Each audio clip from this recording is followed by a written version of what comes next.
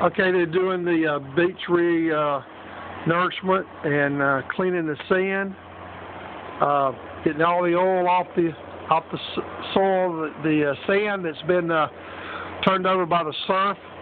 It's been buried, all the oil and the contamination, and uh, they're right here off the back of uh, Romar House, and uh, it's quite an operation with uh, road building equipment, uh, track hoes, big off-road dump trucks, uh, John Deere tractors, um, and so they're doing this area right here behind the Phoenix uh, Phoenix Five and uh, Surf and Sea, all the way back here to behind me where I live at Romar House, and uh, you can see where they're they're piling the sand up right here. That's where they're digging it.